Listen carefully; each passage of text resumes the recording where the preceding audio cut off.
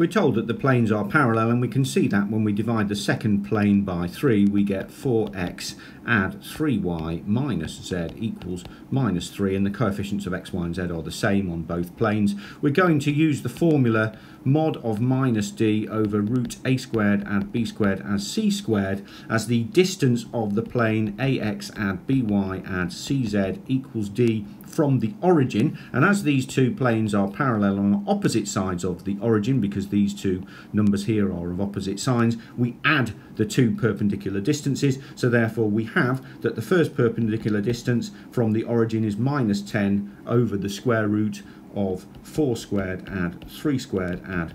minus 1 squared and the other one is 3 over the square root of 4 squared add 3 squared add minus 1 squared which equals 13 over root 26